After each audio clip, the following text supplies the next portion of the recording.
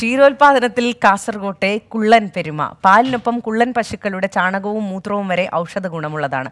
അതുകൊണ്ട് തന്നെ വില കൂടുതലാണെങ്കിലും ക്ഷീര കർഷകർ കുള്ളൻ പശുക്കളെ തേടിയെത്തുകയാണ്. കാസർകോട് പുല്ലൂരിലെ സംസ്ഥാന വിത്തുൽപാദന കേന്ദ്രത്തിലെ തൊഴുത്താണിത്. കിടാക്കളടക്കം മുപ്പത്തിയേഴ് കുള്ളൻ പശുക്കളെയാണ് ഇവിടെ പരിപാലിക്കുന്നത്. മക്കളെപ്പോലെ പശുക്കൾക്ക് വെള്ളവും തീറ്റയും നൽകി പരിപാലിക്കാനായി അഞ്ചോളം സ്ത്രീകൾ സദാസമയവും ഈ തൊഴുത്തിലുണ്ട്.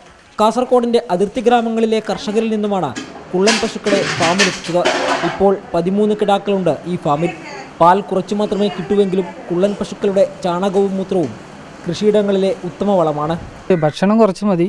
പിന്നെ അതിന്റെ മൂത്രവും ചാണകമൊക്കെ ഒരു ഒരുപാട് വിലപ്പെട്ടതാണ്. സൂക്ഷ്മാണുക്കൾ ഒരുപാട് നമ്മൾ കൂടുതലില്ല നമ്മൾ ജൈവ സമ്പത്ത് നിലനിർത്താൻ ഇതിന്റെ ചാണകവും മൂത്രവും ഉപയോഗിച്ചാൽ ഇവിടുത്തെ ഫാമിലിപ്പം നാല് ഹെക്ടറോളം പച്ചക്കറി നടത്തുന്നുണ്ട്. അതിനൊക്കെ ഇതിന്റെ മൂത്രവും ചാണകം ഉപയോഗിക്കുന്നുണ്ട്. ചിട്ടയായ രീതിയിലുള്ള പശുപരിപാലനമാണ് ക്രമീകരിച്ചിട്ടുള്ളത്. ജില്ലാ പഞ്ചായത്ത് മുഖാന്തരം അനുവദിച്ച കാലിത്തീറ്റയും ഫാമിലെ പച്ചപ്പുല്ലും വൈക്കോലും തന്നെയാണ് ഇവയുടെ പ്രധാന ആഹാരം.